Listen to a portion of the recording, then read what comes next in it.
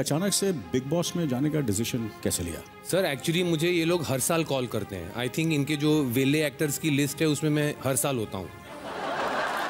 इतने अच्छे एक्टर होने के बावजूद और 20 साल से ज़्यादा बॉलीवुड इंडस्ट्री में काम करने के बाद भी रणबीर शौर्य को ऐसी क्या ही प्रॉब्लम आ गई जिससे उन्हें बिग बॉस जैसी रियलिटी शो में आना पड़ा। और यही नहीं उन्होंने ये भी कहा है कि उन्हें बिग बॉस ट्रॉफी से ज़्यादा 25 लाख रुपए की ज़रूरत है। इतने सालों इंडस्ट्री में काम करने के बाद भी कैसे हुई इनकी ये हालत चलिए जानते हैं।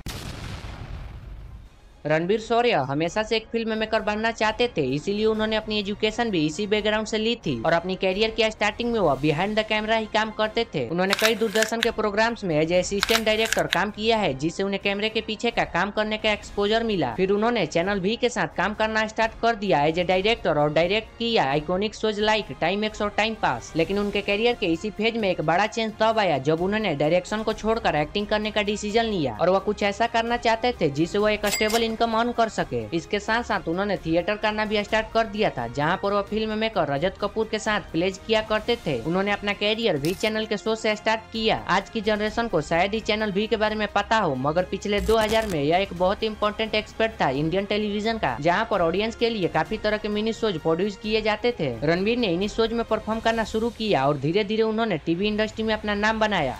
Can I ask you a question? No. Can I I'll go- ask you a question? No. Uh, okay, go ahead.